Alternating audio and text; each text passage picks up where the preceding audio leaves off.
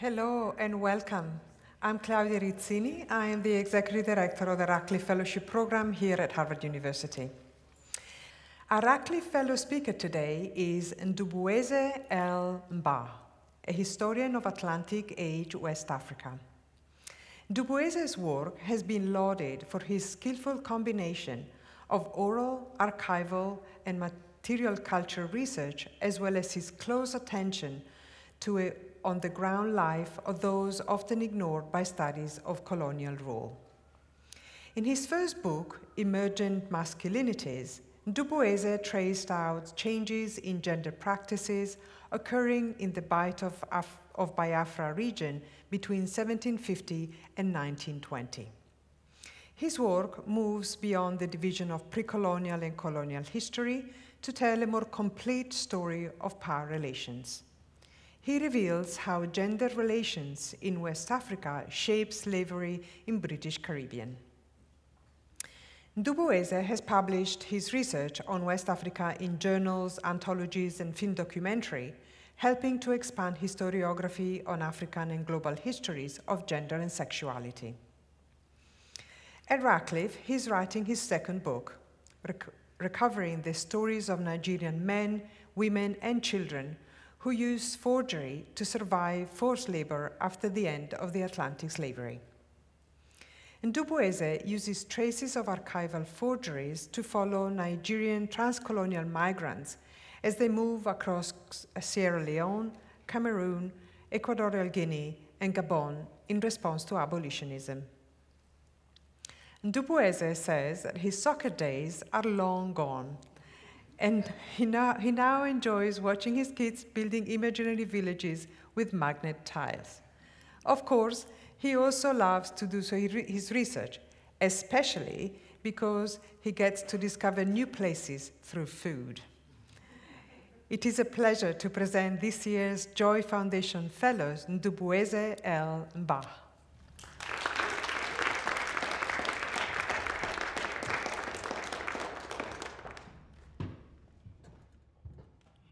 Thank you so very much, Claudia.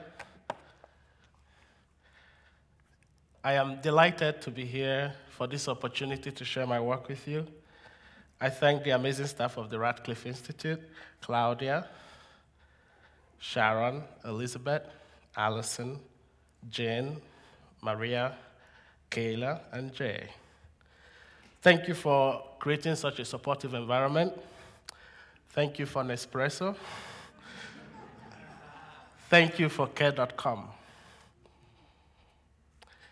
I'm grateful uh, for my Radcliffe uh, research partners. Could you please stand, those of you right here?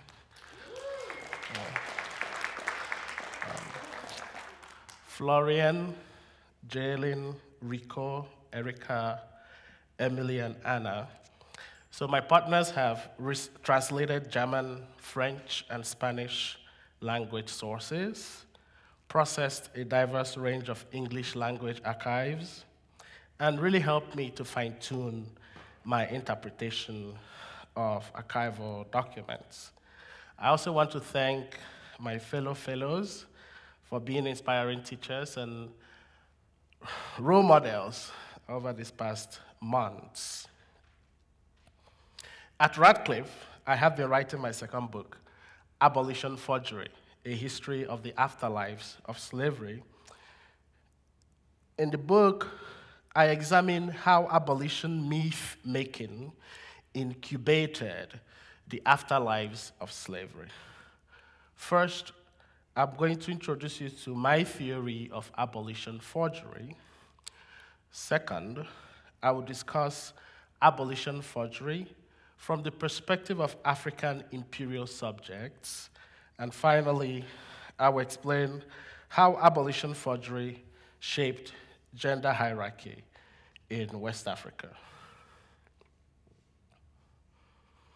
In 1900, Jampao, an African British subject, petitioned a British colonial governor and complained that he had been recruited along with nine other Africans and transported to the Spanish colony of Fernando Po in present day Equatorial Guinea for wage labor on a cacao plantation. Jampao and others refused to accept the terms of their Spanish labor contract, which was so different from the terms of the English language contract that they had signed at the initial point of recruitment on the Gold Coast, that it resembled slavery. But the Spanish planter subjected Jampao and the others to several days of quote unquote severe treatment and punishment. He tied up the laborers on a tree, placed fire under the tree to burn or roast them.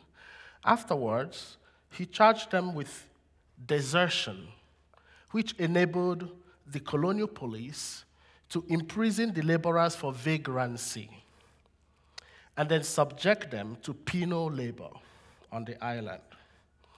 Some of the laborers escaped into the forest where they eked out a living for several days before Jampao smuggled himself onto an outbound ship to Lagos. So this is the Gold Coast here, and Jampao was taken from the Gold Coast to Fernando Po, and then got on a boat and made it to Lagos. And from Lagos, he wrote the petition to the British colonial governor.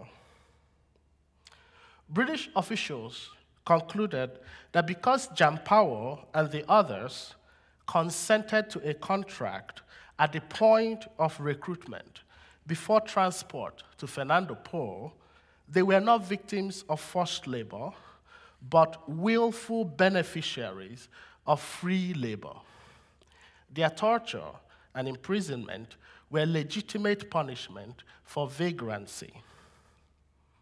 So, what Jampao and the others experienced is what I call coerced contract. And coerced contract illustrates abolition forgery, by which I mean the use of free labor discourse to disguise violent forced labor. European officials went to great lengths to justify forced labor and define it as not slavery because imperialism itself had been justified as a mission to end slavery and propagate free labor. In Jampao's case, imperial officials used vagrancy to dismiss torture and disguise the coercion of contract. The contract symbolized abolition's free labor. It did not matter if torture produced it. Jampao's case reminds us that imperialism was not based on violent conquest alone, but relied on the ideology of abolition. When African people like Jampao wrote petitions against forced labor, they were challenging imperial states' hypocrisy to conceal the mirage of abolition. Sites of violent imperial forced labor in Africa were remote, on ships, mines, factories, and plantations, beyond the censorious gaze of colonial and metropolitan people. Although legal and state mandated documents, such as treaties, contracts, and passports, were used to traffic imperial subjects into those forced labor sites, recruitment still required propaganda, deception, and force. Moreover, to retain laborers in those sites required the concealment of violence and the denial of forced labor. So Africans like Jampao resisted by voting with their feet. They walked away or ran away, or by calling out abolition as a hoax. African hypermobility and appropriation of abolitionist discourse, which is a rebellious manifestation of what Achille Mbembe calls Afropolitanism, enabled them to challenge abolition imperialism. So Afropolitanism is this idea of hypermobility actually not just within Africa, but also beyond Africa. Uh, the tendency to not recognize the constraining capacity of borders, um, the capacity to traverse boundaries, especially colonial borders. Um, being African in a global sense, understanding that there is um, authenticity in being, but also uh, cosmopolitanism in being connected uh, with the world beyond the geographical boundaries of Africa. And the knowledge, therefore, that Africa is where one is. It is not limited to one place. So this idea of Afropolitanism um, really is, become, is at play in the ways that coerced migrants challenged um, the capacity of colonial borders and contracts to keep them within sites of exploitation. One of the interesting things in cases like Jampawa is that then by writing petitions and calling attention to forced labor and calling out abolition as a hoax, it put British imperial officials in a position where now they have to defend forced labor, right? And so, which is a really interesting dynamic. Because imperial officials used vagrancy policies to excuse coerced contracts and dismiss African petitions about forced labor, African migrant forced laborers smuggled out letters to family members back home to advocate for their freedom. So, for example, uh, just another quick example, in 1933, a Nigerian man, Edoho, received a letter from his son, Dan, who lamented that he had been inveigled into forced labor in the Spanish colony of Fernando Po. A Nigerian recruiter employed by Spanish planters and licensed by the British government, promised Dan a high paying job in a British store in Fernando Po. Using a propaganda poster like this one, the recruiter portrayed Fernando Po as a space of civilization and wealth accumulation. I love this poster. It took uh, Harvard Library three months to find it, and I'm so happy they did. Um, and it was actually included in the Drum magazine uh, by a journalist who disguised himself, a Nigerian journalist who disguised himself as a laborer and went to Fernando Po. And the first time he went there, they took him and showed him all the beautiful places. And then when he came back and disguised himself as a, a, a laborer, um, they tortured him and put him in prison. and so he, and he found this poster, which was the, the, propaganda that promises good salary, free transportation, free housing, free rations, free medical assistance, free blanket and cooking pot, eight days of leave per year. This poster, Africans are savages who are half naked, and then they get to Fernando Po and they become civilized clothes and they look like Europeans. The, that hack, uh, cap that you, African man is now wearing on the plantation is actually the uh, quintessential imagery of, of the British colonial uh, officer. Um, and so now they're supposed to look European um, and walk around on these beautiful plantations with an umbrella and do no work. So that was the propaganda uh, of recruitment. So Dan paid the recruiter 12 shillings in exchange for a forged passport purchased from a British official. The passport itself was a forgery. It bore the name Samuel Ebe. Assuming this fake identity, Dan boarded a German ship, the Wahehe, from Calabar to Fernando Po in October 1932. Upon arrival, the recruiter locked up Dan and several other Nigerian boys in a warehouse for two days and then after two days, he marched them to a Spanish plantation where they were tortured for another two days because they refused to sign the contracts. The recruiter then took them, took the boys, the Nigerian boys, to the British consulate on the island, where a British consul who also serves, served as a labor officer that was supposed to look out for the welfare of the Nigerian laborers, laborers explained their options to them. You could sign a contract for a meager wage or go to prison. In this way, Dan and 47 other Nigerian boys became contracted. Dan wrote that they experienced constant beatings from which some of his friends died. Constant beatings was a complaint found in almost every migrant labor petition. Hundreds of migrant, petitions from migrant laborers that I've looked at, there's a lot of references to beatings. So poorly paid, laborers could not afford food and purchased necessities on credit from the planters, who thereby obliged them to sign second contracts to pay their debts. After reading his son's letter detailing his condition of slavery, this is Dan's word. He called it as he described it as slavery.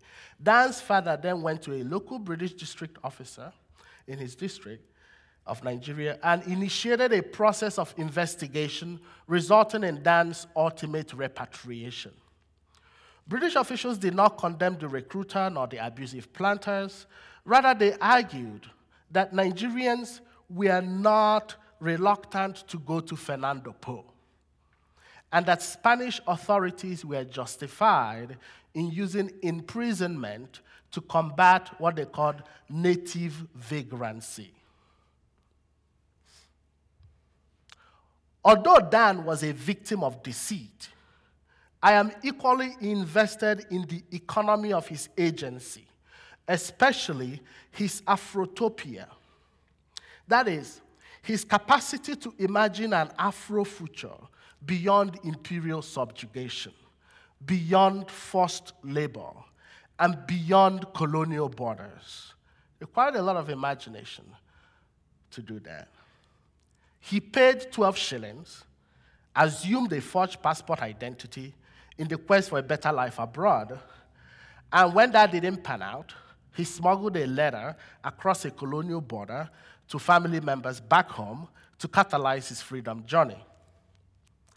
So, any account of the falsehood of abolition, in this case, would have to explain the roles of the imperial state, European planters, African recruiters, and African migrants, as well as the push and pull factors of mobility, the mediation of documents, mobility infrastructures, and human imagination.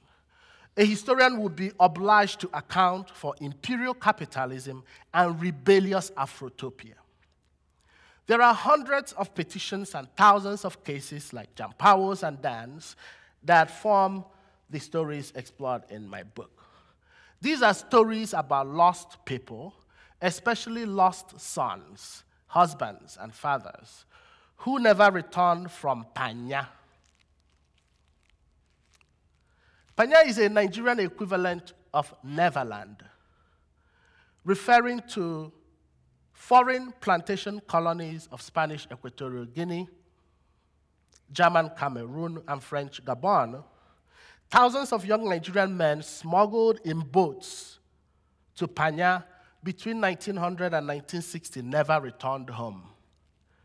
British, Spanish, German, and French states and businesses relied on the guise of free labor and the deceptive recruitment agency of mercenary African agents to traffic at least 500,000 Nigerian British subjects to these colonies in the first half of the 20th century alone. Young Nigerian men risked death abroad in the hope to earn wages to meet the burden of colonial taxation, to pay off high interest loans to local creditors, to redeem relatives from debt bondage, to support family members impoverished by colonial exploitation, colonial land theft price control, taxation, and urban unemployment had impoverished a majority of the population while enriching a few elites. So when African people like Dan paid money to secure forged passports, they participated in abolition forgery to survive imperialism. And African subaltern forgeries helped to sustain the transcolonial forced labor system that was being disguised. Parents of young men who left for Panya deemed their sons lost. I can recall, uh, my younger brother is here, he can recall that too, that growing up in Nigeria in the 1990s, my mother often expressed her sense of disappointing behavior by asking, Ijeko Panya? Is it your plan to end up in Panya? She said another way to say, Would you become a lost son? Or she would say, Ishi Panya? Have you just returned from Panya? Are you a destroyed son? Growing up in the 1940s and 50s, she saw young men leave for Panya and never return. Unlike Jampao and Dan, many Nigerian indentured laborers did not return from Cameroon, Fernando Po, and Gabon. These, those foreign plantations, notorious for forced labor, but also for poor nutrition high morbidity, and high mortality. Others returned with diseases and disabilities. These migrants exist in the imperial archives principally as names in voluminous death records, as contract numbers in colonial labor reports, and as next of kin in probate claims. What do such archival traces of loss amount to? What does a project to recover lost lives from marginal archives look like? How did tragedy become social memory? How did mortuary archives become monuments or afterlives? These archival traces of African imperial subjects like Jampao and Dan reveal European uses of forced labor as a disciplinary pedagogy of free labor in Africa after slavery's supposed end. European imperial officials, capitalists, and missionaries viewed Africans as too uncivilized for free labor. They rationalized force as necessary to teach Africans the civilizing benefits of voluntary labor. British peasants might be motivated into wage labor by the hope of improving the condition of themselves and their families, for example, but Africans must be motivated by the fear of punishment. Through acts of abolition, treaties, and conventions, European states sustained forced labor as a transitional vehicle to the full suppression of slavery. So forced labor was supposed to be transitionary, but it was transitionary from the 1820s all the way to the 1950s. But because historians have situated forced labor typically within narratives of imperialism, really a meta narrative of imperialism, they have not paid attention to abolition forgery, the ideologies that underpinned the whole thing. Historians have largely told the mythic structure of imperial archives instead of confronting what we may call the underneath of things, the use of abolition's moral capital to conceal imperial violence. Hence, we have a clear imagery of slavery's bodies. So if I ask the audience, what, do you what body image comes to mind when you think about slavery? I'm sure we'll come up with a lot of imageries of the body. But if I ask, what did abolition's body look like? It would be a blank. Abolition blanks the body. But it is time to ask what did abolition's bodies look like?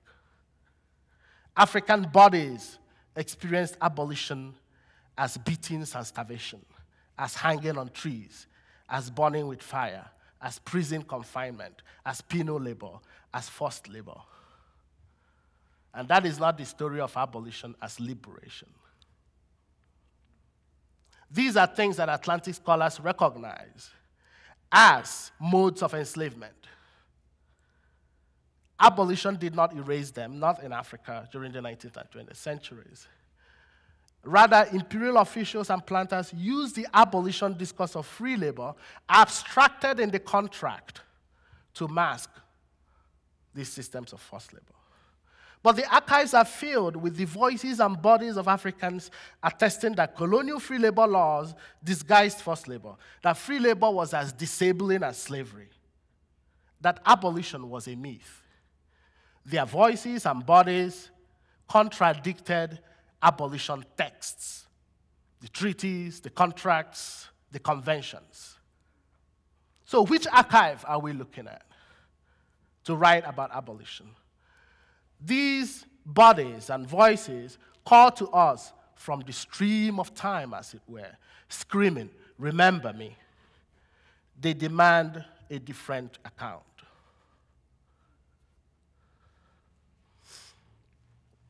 So, this is an example of what a, a French Gabon contract looked like. It's typically about five pages. So, just this is the first page of it. And that's a Spanish Fernando Po contract. Uh, the one on the right is from 1956. It was a revised contract, and so it included protections. Uh, the contracts before that, the original one from 1942, did not include a lot of protections. This initial, the con- this contract on the left, French Gabon emerged from a 1948 treaty um, and was trying to respond to the abuses that were found in the Spanish example. So, what kind of account? How do we then account for abolition? To accommodate for the multiplicity of archives, both as texts and as bodies. I developed the theory of abolition forgery to explain how projects to end slavery led states and capitalists, as well as slaves and subjects, to mobilize liberal laws and policies, exploit freedom discourses, and forge documents which disguised the entrenchment of slavery's political, economic, and social freedoms.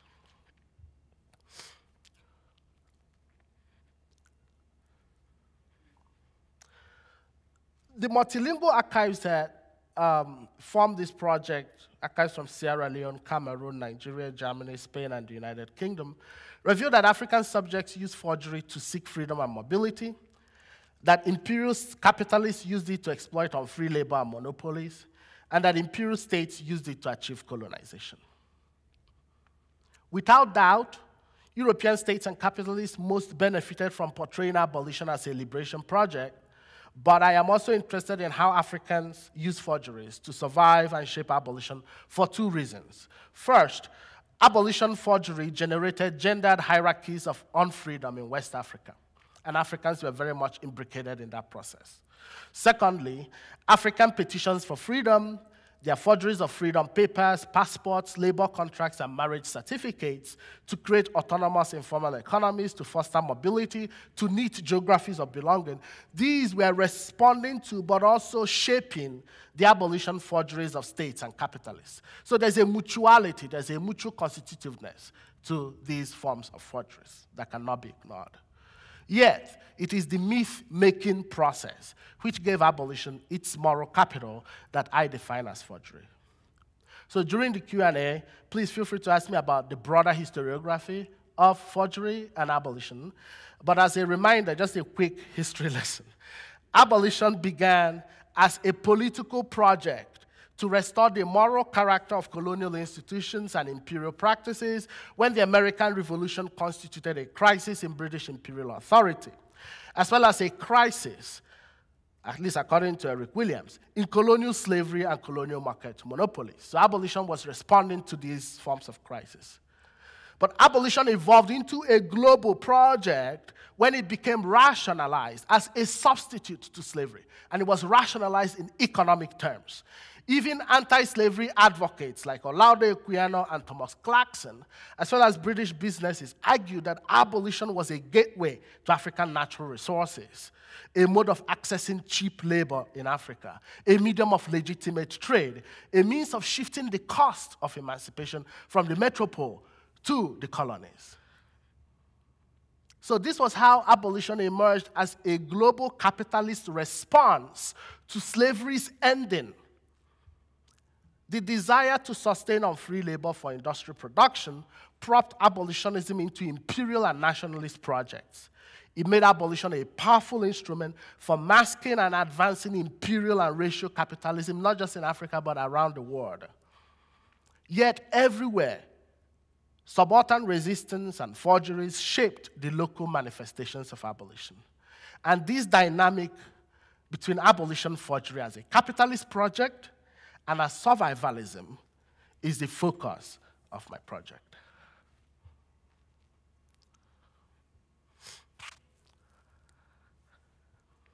So, historic acts to end slavery,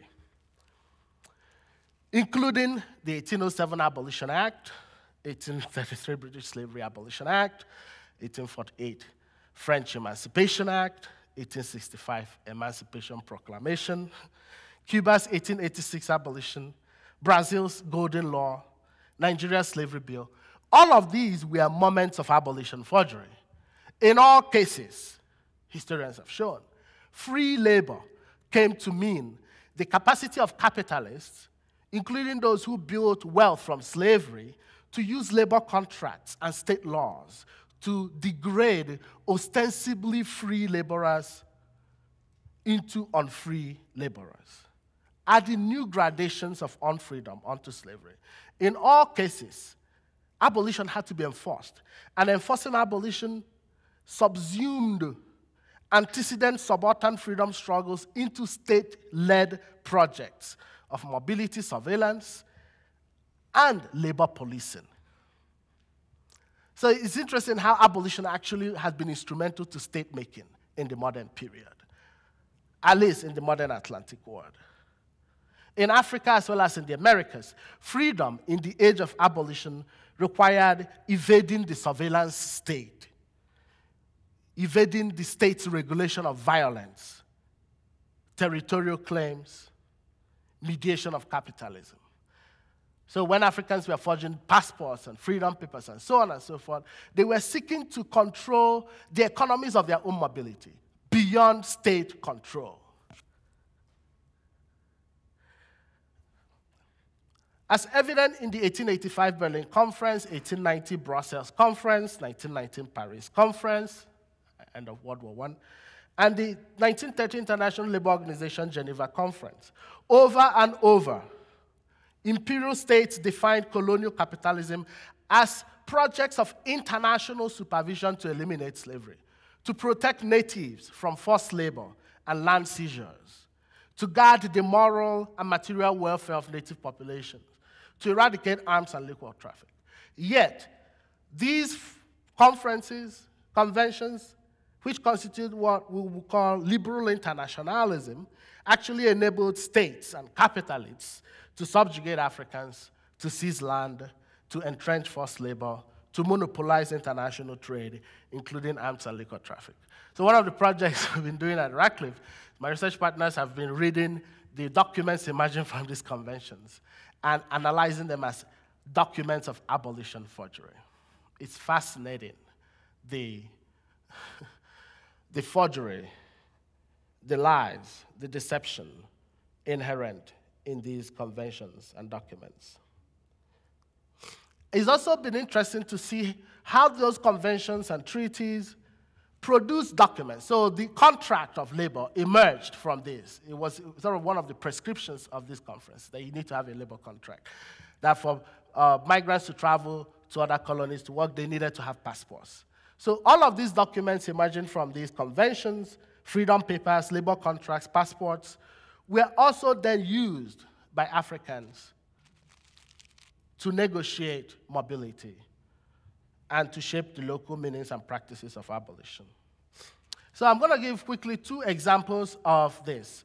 Um, the Abolition Act itself from 1807 and the Freedom Paper um, are two documents. So this is sort of a, a, a history of two documents, if you will, a profile of two documents. Both types of documents facilitated what was known as redemption in West Africa. The 1807 Act empowered British officials basically to seize natives of Africa on slave ships after 1807 as contraband or property of the British Crown and to apprentice those people, those recaptives, by force, whether they wanted it or not. And then that they would, naval officers would receive bounties for each African rescued. For African man, 40 pounds, African woman, 30 pounds, African child, 10 pounds. And they will receive a receipt. There will be a receipt made of this payment. And these receipts are now what we now call the liberated African registers. Later on, when liberated Africans, maybe they wanted to travel or wanted to show proof of emancipation, they'll go to a British imperial official who consult the registers and write a testament of emancipation. Africans called those testaments freedom papers. So that is what a freedom paper looks like. By, this was from Consul Hutchinson um, a British consul in, in, at Old Calabar um, in 1850. But beyond giving Africans freedom papers, uh, British, any British official could find an African in any part of West Africa, and if they deemed the person to be a slave or in a condition of bondage, they would take the person, move, transport them to either Fernando Po, Calabar, or mostly Freetown.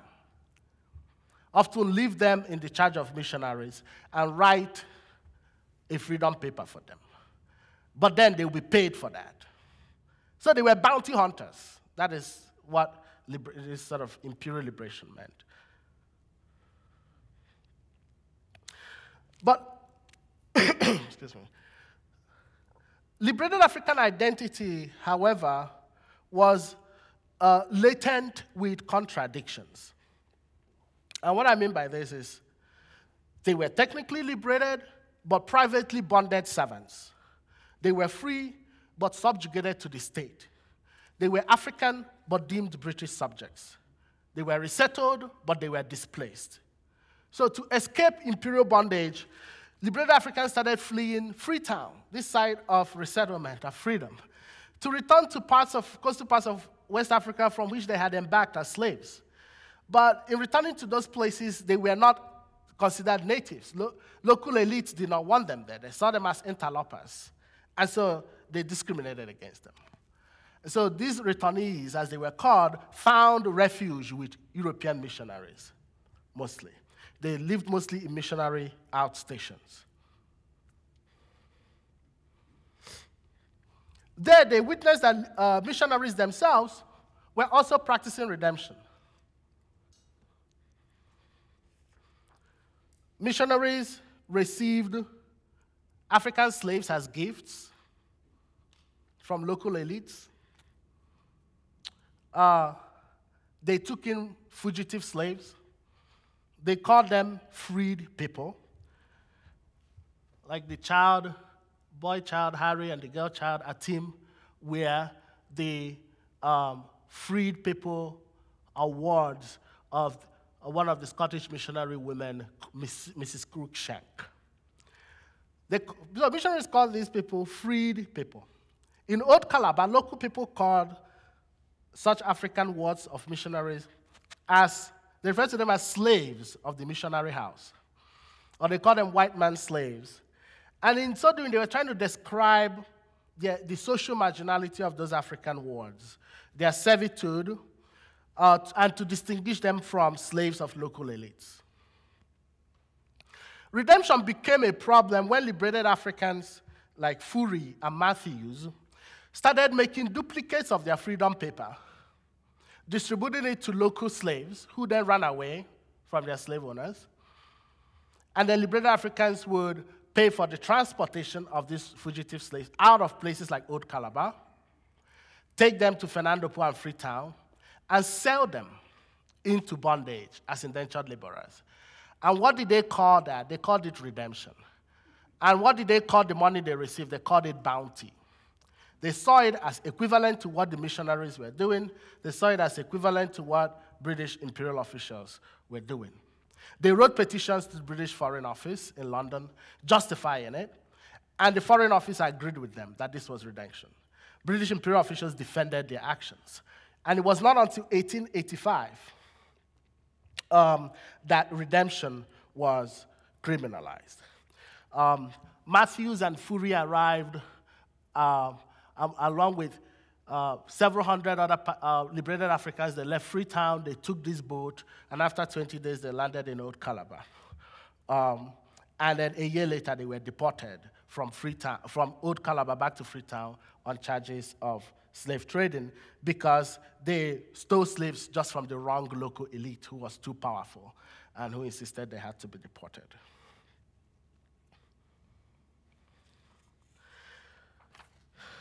The reason why liberated Africans felt doubly marginalized in a, in a place like Old Calabar was that Liverpool merchants, especially, had monopolized the palm oil, transatlantic palm oil trade there. And lacking other avenues of, of economic pursuit, many of the returnees turned to practices of redemption as a way to make uh, money. So local elites denounced liberated Africans as slave stealers, as slave traders. British consuls were torn. Some defended uh, liberated Africans as advancing the extinction of slavery, quote unquote, by practicing redemption. Others argued that they were slave trading. The Foreign Office prevaricated um, and said we, whatever that these liberated Africans had to be protected. But in 1885, in order to protect domestic slavery, slavery as, as, it existed in the region, and in order to get the local elites to sign a treaty making Old Calabar a British protectorate, British consuls declared redemption illegal and criminalized it. They rationalized that slavery must be managed with tact and deliberation to ensure it did not become an obstacle to colonization. Abolition was a means of achieving colonial civilization. So it was fascinating why redemption was criminalized, not because it was inhumane, but because it threatened slave holding elites and it threatened slavery in Old Calabar. And they wanted Old Calabar as a protectorate. So they abolished redemption.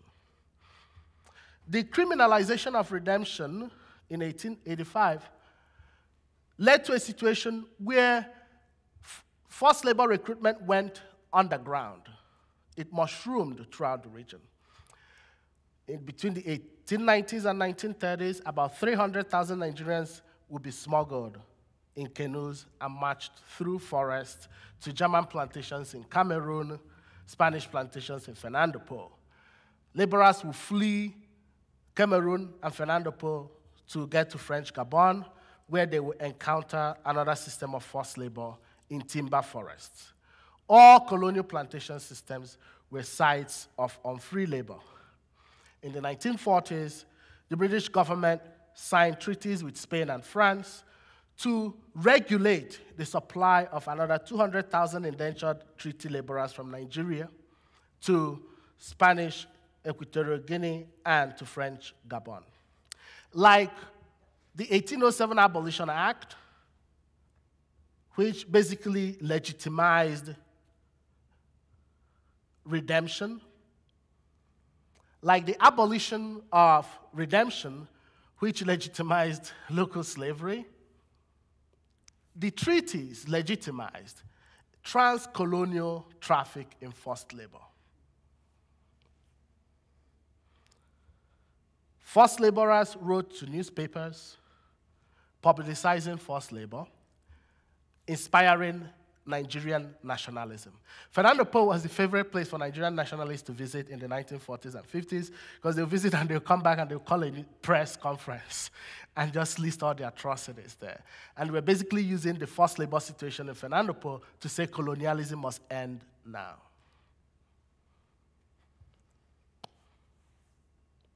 So, abolition forgery fed young men to Panya, but also women and children who, though they existed beyond the veil of contracts, populated the archives with feverish fantasies of freedom. So, if we think back to um, Fourie and Matthews, the two liberated Africans that came to Old Calabar were exiled for uh, uh, redemption. They experienced a peculiar form of precarity in Old Calabar because they returned without wives and children. British administrators in Sierra Leone issued freedom papers only to male liberated Africans. Such that liberated African men and women depended on being wards to men to validate their status as emancipated persons. So imperial subjecthood was paternalistic. So we, liberated African women and children did not receive freedom papers, only men. So you had to belong to a man to then benefit from the protection of that. So this men then, it enabled men to claim rights to the labor of women and children. Many of those who successfully settled were those that came with women and children. So that even if they didn't make it, they relied on the labor, uh, agricultural and commercial labor of their, of their wives and children to survive. So in many ways, Fourie and Matthews were an exception in not being able to settle, but there are many like them. So many liberal African women wrote petitions. People like women like Amelia McIntosh, Hannah Boyle, and Sarah Boyd. Amelia wrote, My husband, John McIntosh, has long treated me in a very shameful manner. He repeatedly has beaten me. Um, the case of Hannah, it, it, it, ended up tragically. And during Q&A, I can more take time to contextualize and, and explain more the, uh, the mother suicide um, in the case of um, Hannah Boyle and Robert Boyle. But what I'm getting to here with this example um, is to say that returnees had to perform what I call Anglo cosmopolitan or Afropolitan masculinity.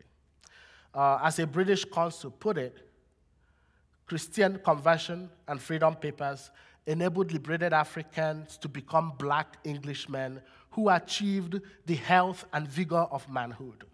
Performing Anglo-cosmopolitan masculinity or Afropolitan masculinity was an aspirational and survivalist assertion of hierarchical gender relations. It was a way for people who had, men who had been displaced to recover patriarchal dividend in a society that marginalized them. And so, relative subjugation, the subjugation of women and children, became part of the survivalism of returnee men. And this leads me to the concept of what I'm calling wife owning, the way that Afropolitan masculinity uh, is manifested or is performed as the subjugation of women, as the assertion of hierarchical gender relations. Wife owning required the mobilization of certain types of documents freedom papers, petitions, and marriage certificates. Through such documents, liberated African men sought to exploit women's bodies, labor capacities, and sexual economies. And it is striking that African male bodies experience free labor in the plantations but women bore the burden of care for these male laboring bodies and also bore the scars and fatalities of abolition's domestic violence. A survey of 400 Nigerian indentured laborers returning from Fernando Po in the first half of the 20th century showed that majority of people risked forced indenture because they wanted to earn money to pay debts, to escape, escape debt bondage, but also to earn money to marry wives, to buy a bicycle for business, to assist parents or relatives, to buy farming land. So recruiters will use this promise of social recovery to lure young men into forced indenture. But the survey also reveals that abolition paternalism fused the social mobility aspirations of male imperial subjects with the labor exploitation schemes of imperial states and colonial capitalists. Abolition forgery generated hierarchies of unfreedom and made heteropatriarchal kinship the basis of colonial capitalism.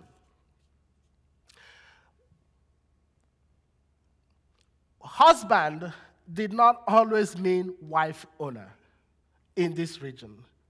It was part of, it was a product of abolition forgery. It was a product of the uses of imperial liberation, labor treaties, labor contracts, juridical certification of marriage, certific- uh, um, va- juridical uh, validation of marriage certificates.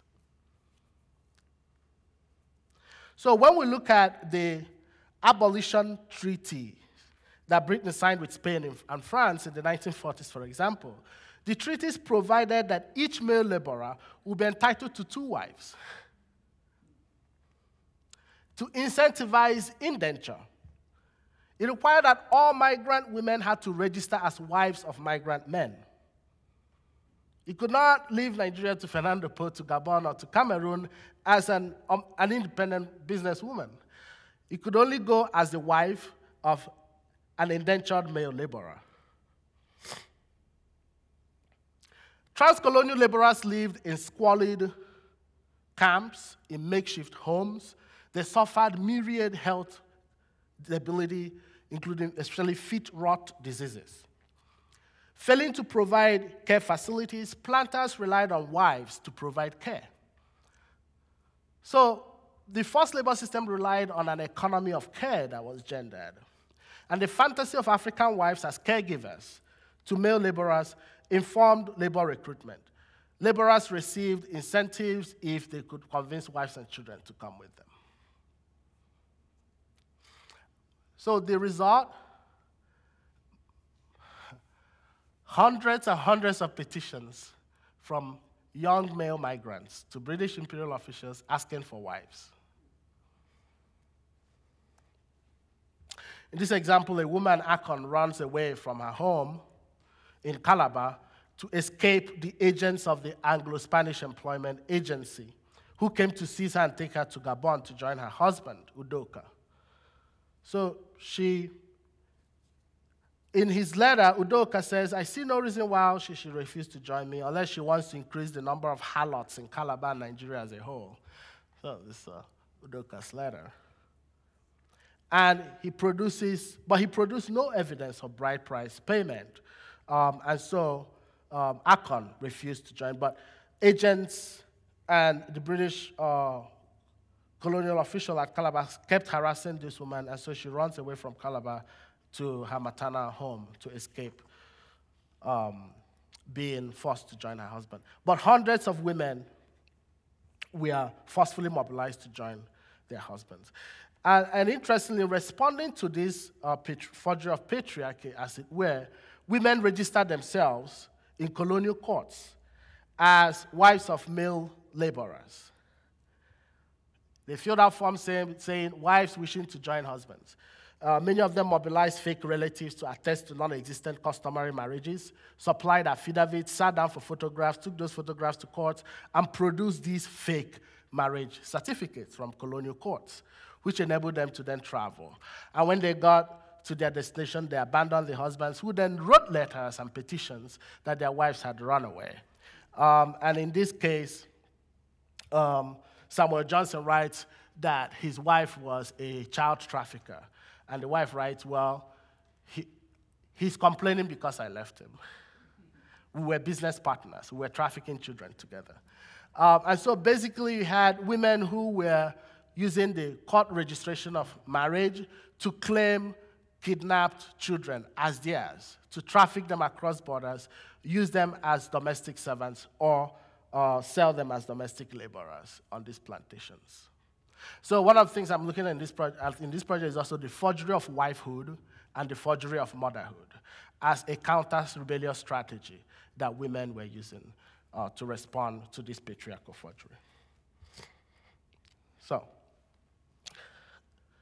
just a few concluding remarks. We know that forced labor has persisted today, um, but continues to be masked by neoliberal discourses of democracy, of development. For example, forced labor in Africa generates an estimated $13.1 billion in profits annually for private companies of the West, and this forced labor is masked with the discourse of development. Child labor is prevalent, sex traffic is prevalent. In 2018, Amnesty International reported that African children are forced into labor to produce materials used by Tesla, Apple, Google, Microsoft, and Dell. The so called greening of Africa, or production of materials for electric energy or clean energy, continues to rely on forced labor that remains invisible. These are all the afterlives of slavery, from forced labor to mass incarceration to Black Lives Matter. These are ways that slavery has endured. What I'm doing in this project is to show that the way has not been theorized as such, has not been named. That abolition forgery is one of the ways that the afterlives of slavery was manufactured. Capitalism is such a broad term, it doesn't tell us exactly, it doesn't characterize a process of reinventing the unfreedoms previously associated with slavery. Abolition forgery does. Africa is well positioned to understand these dynamics, but continues to be left out of the conversation. The petitions, the moral outrage, the contradictory practice of abolition, underground forgeries that Africans enacted contributed to many of the neoliberal policies enshrined in the International Labour Organization's conventions. So some of the policy, things we're familiar with today and we take for granted that govern labor, um, you know, salary, uh, health benefits, and so on and so forth. These were things that emerged from the petitions of imperial subjects who found themselves in positions of forced labor and wrote petitions, and these petitions made it into the floor of the International Labour Organization. And now they become conventions adopted by states, and we take them for granted. So, my project positions these as also part of the growing pains of Afrofuturist imagination, imagined from um, African abolition forgeries. Thank you.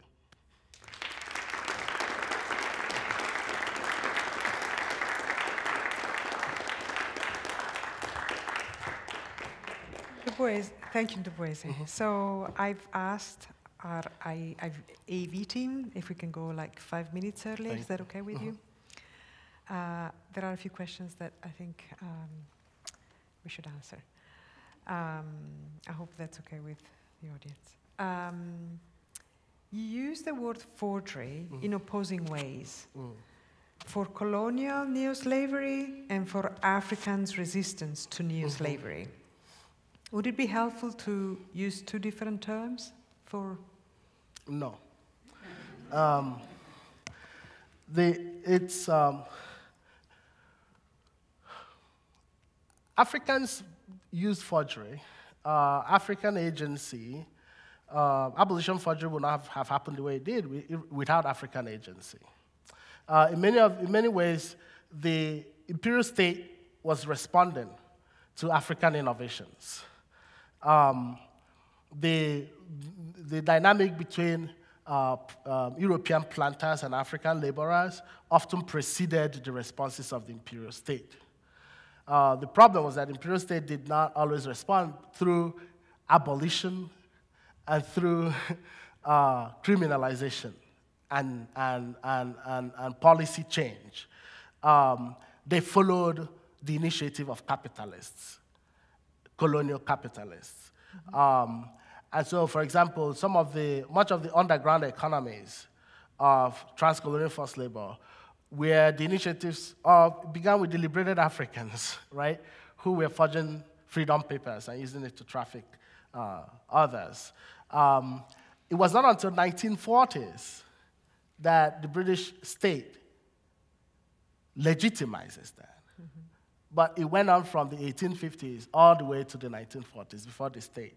Rather, the state exploited it to achieve colonization, to achieve surveillance, by you know, issuing passports, issuing travel permits.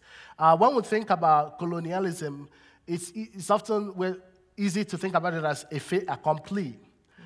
But I look at colonialism in my project as a process, as a struggle.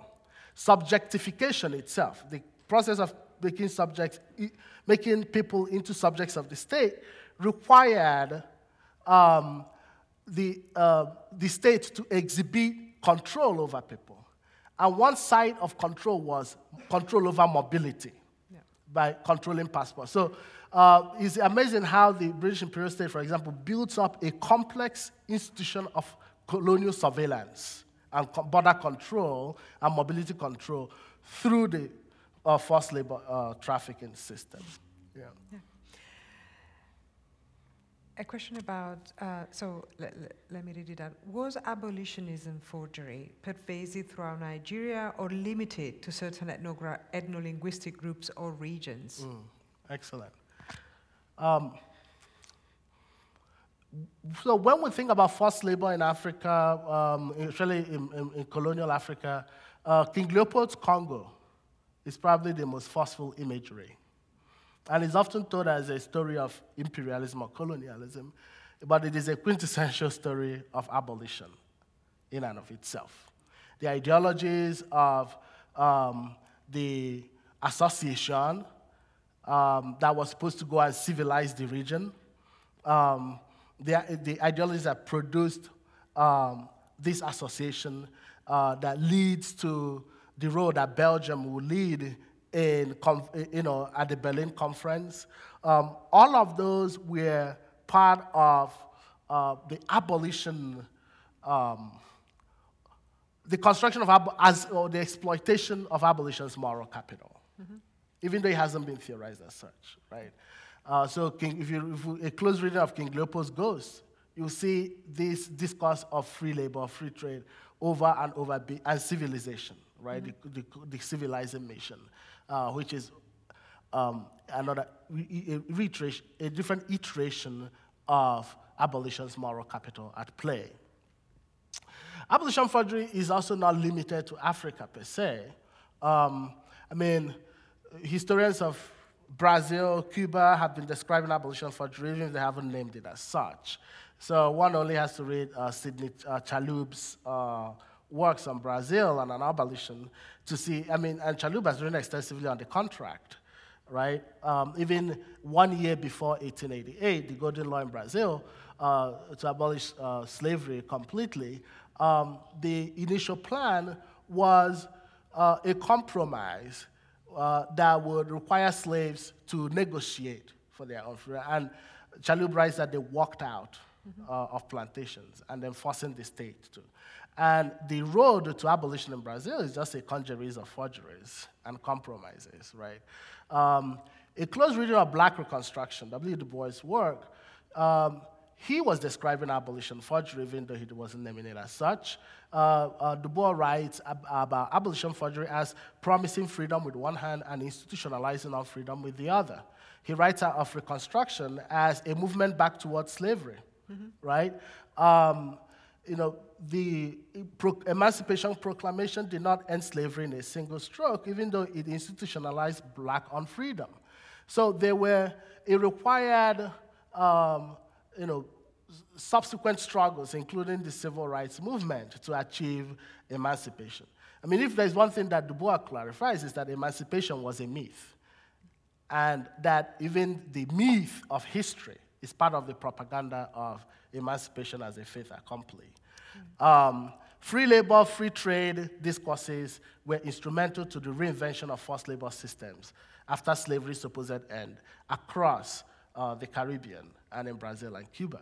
In, in Brazil, it took the form of uh, mechanized agriculture, where uh, northern, US northern investors were considered, as my colleague writes, every machine as an abolitionist, even though that these machines were increasing um, sugar production and expanding unfree labor in Brazil. Right. Right. Well, this is all we have time today. Yeah, thank, thank, you, Ndubueze. Yeah. Thank you for, uh, thank you the audience for your questions. Um, I hope you'll be able to join us for other Radcliffe events. You can find more information and videos of past events at radcliffe.harvard.edu. Thank you for joining us today and have a great rest of the day.